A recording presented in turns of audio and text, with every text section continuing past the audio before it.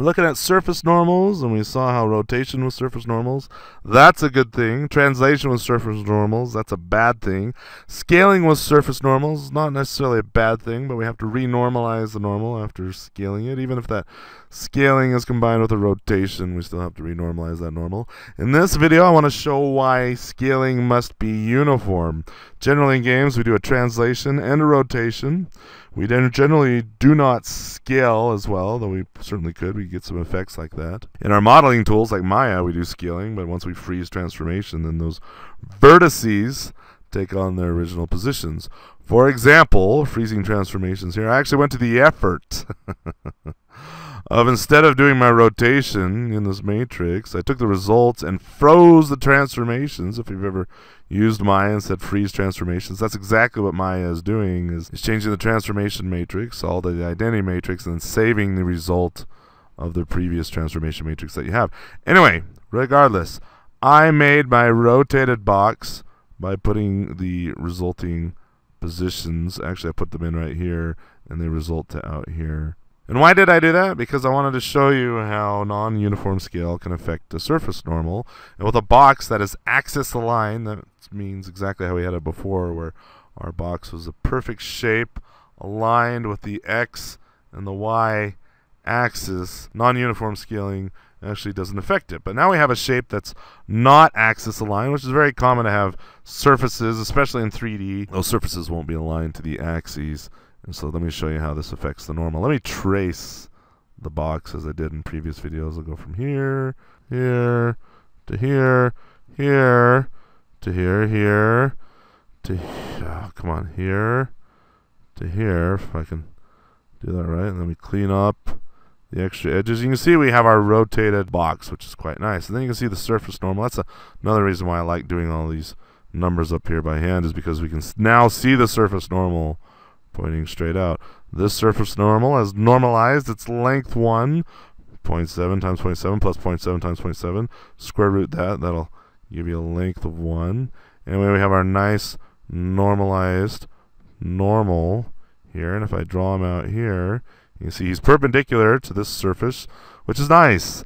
Now I want to scale this box, just as we did in previous videos. I want to scale him, but I want to scale him non-uniformly. That means I'll leave this down at a 1, and we'll change this to a 1.5. Move this up to 1.5. Actually, 1.5. Yeah, okay, there we go. 1.5. So I've now scaled my box. Let me trace the box using the new positional vector positions, vertice positions. I'll connect that one. I'll connect that one. Connect that one. Connect this one. Take off the trimmings here. You see now we get a more of a diamond look, but that is our non-uniformly scaled box. Okay, we've skewed it. That's another another way to call it. We've skewed it. It's not a box anymore. It's more like a stretched out kind of weird looking thing. Look what non-uniform scaling did to our surface normal.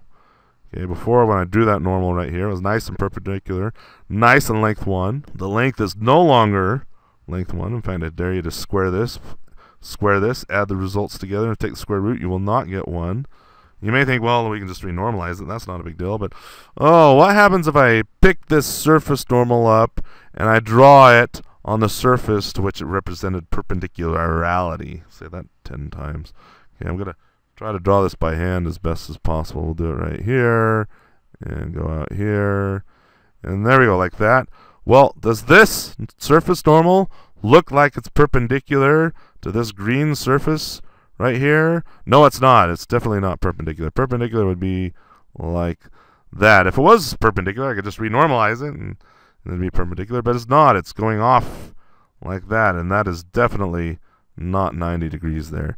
Anyway, when we have non-uniform scaling, we can't use that on our normal and expect our lighting equations to work out correctly. And in that case, what we'd actually have to do is send down a separate rotation-only matrix for our surface normals. We'd have to send that down separately to our shader as a uniform parameter. Don't get that mixed up with non-uniform scaling. We'd have to make a separate rotation matrix and normal rotation matrix only which would rotate our normals into world position and send that down. Now, how often do you do a non-uniform scale? I rarely, if ever, do it. In general, I'm not doing a scaling. I do a rotation, I do a translation. And so if your model to world transformation matrix only has a rotation and a translation, as we saw in previous videos, you can turn on translation and hit your vectors that represent vertex positions with it, and you're just fine. And then to turn off translation, you just set the last component on your normal to zero, make sure it's a zero, and then you'll extract just the rotational portion and apply that to the normals. So even though I've done several videos talking about all the weird things that could happen with normals, that's purely for educational purposes. The main thing to remember, hit your positional vertices with translation turned on, and then hit your surface normals with translation turned off. Going back to our shader code, here's the model to world transformation matrix.